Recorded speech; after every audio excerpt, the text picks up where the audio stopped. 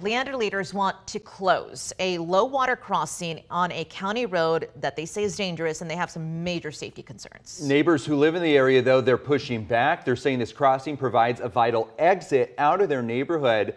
KXAN's Dylan McKim has traveled to the crossing. It's on County Road 177. Mm -hmm. Dylan, we know this crossing well for the wrong reason. We do know the crossing very well. It was in the spotlight back in 2018 when this school bus decided to drive through it when it, uh, during a storm it was swept off the road. The city points to this incident as some evidence to keep that bridge closed, but neighbors want to hold off on that before there is a fix to traffic in the area.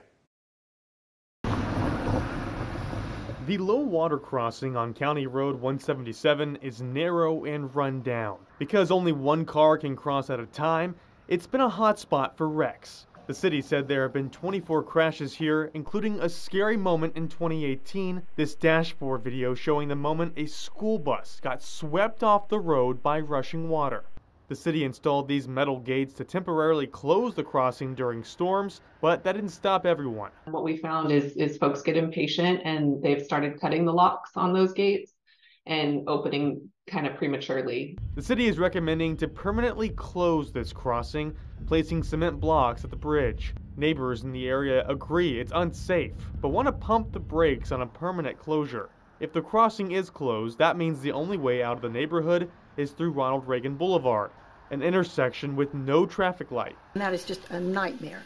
And I doubt if any of you have been on those roads at 7:30 in the morning trying to get out of 177. A church is also located on that road. The pastor told City Council he worries for his congregation's safety because of how much traffic there is. On many Sundays of the year right now, we are often backed up all the way past our own exits now.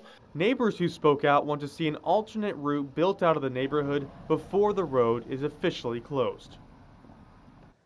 Now, there are also two new housing developments coming to the area. That's added traffic, another concern for the city. Council did not take any action on the closure this week. They will most likely revisit this issue next month during a city council meeting.